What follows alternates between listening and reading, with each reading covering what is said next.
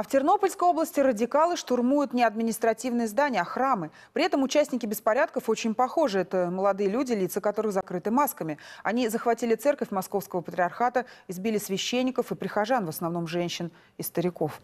Подобные события уже стали на Украине пугающей повседневностью.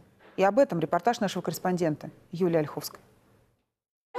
Мене, я тобі сказала!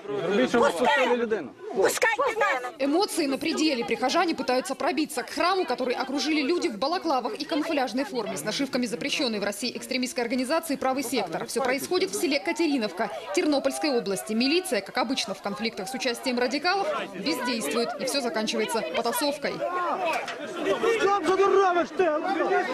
В Украинской православной церкви Московского патриархата это назвали рейдерским захватом храма. И особенно священнослужителей возмущает тот факт, что произвол радикалов происходил при содействии представителей областной администрации. Позже им начали помогать и сотрудники правоохранительных органов. Заблокировали вход в церковь. К сожалению, им преградили путь э, не только сторонники так называемого киевского патриархата, но и милиция, и э, правый сектор, и даже были представители, как нам говорят, э, батальона Тернополь.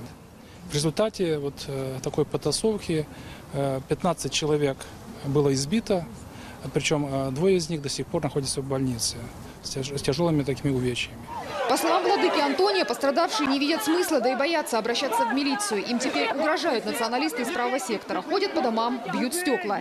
Митрополит Киевский Ануфрий написал письмо президенту Петру Порошенко с просьбой вмешаться в ситуацию в Тернопольской области и не допускать подобного в других украинских регионах.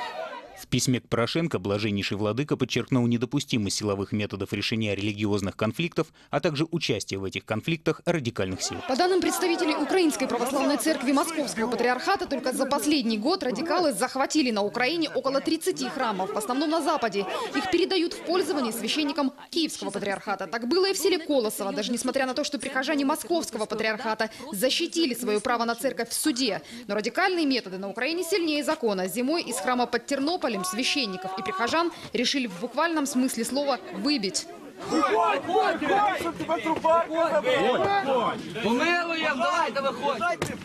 Недавно в селе Башуки, той же Тернопольской области, радикалы повесили на двери храма Московского патриархата замок и никого не впускали. А это видео снято уже в самом центре украинской столицы. Священник Киевского патриархата при поддержке людей в камуфляжной форме требует демонтировать стойку с иконами. Лики святых ни при чем, просто рядом были замечены прихожане Московского патриархата.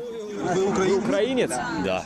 А что вы делаете в московском патриархате? Вы предатель Украины. Ты меня называешь? Может, ты предатель Украины? Я украинский священник. Сразу напали на деда. Я плохо разбираюсь. Вы кайтесь и выходите из сатанинской структуры. Какой? Московский патриархат. В итоге люди в футболках с надписью «Спецназ» при поддержке прохожих сняли иконы и разломали молитвенный домик. все эти неадекватные действия, они не вкладываются ни в какое, ни в какое разумное начало, то, что происходит. Это полный беспредел. И более того, из-под воль этому способствуют власти. Захваты храмов Украинской православной церкви Московского патриархата начались практически сразу после Майдана. Радикалы угрожали священникам, обвиняли их в связях с антимайдановцами. Прокуратура на основе этих обвинений возбуждала уголовные дела. Многие служители церкви, опасаясь за безопасность свою и членов семьи, покинули Украину. Уехать из страны вынужден был и бывший секретарь Одесской епархии Андрей Новиков. После того, как его вызвали на допрос в СБУ, обвинили в пособничестве сепаратизму и потребовали раскрыть, о чем одесситы, подозреваемые в поддержке местного антимайдана, говорили на исповедях. Сейчас отец Андрей живет в Москве, но поддерживает связь с украинскими священниками. По их словам, на службах в храмах Московского патриархата теперь присутствуют доносчики. Хотя новая власть позиционирует себя как борец с советским наследием, но самые худшие большевистские методы взяты на вооружение.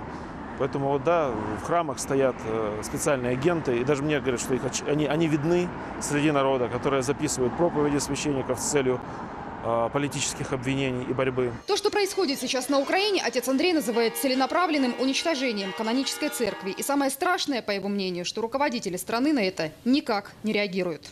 Юлия Ольховская, Дмитрий Синицын и Наталья Литовка. Первый канал. Украина.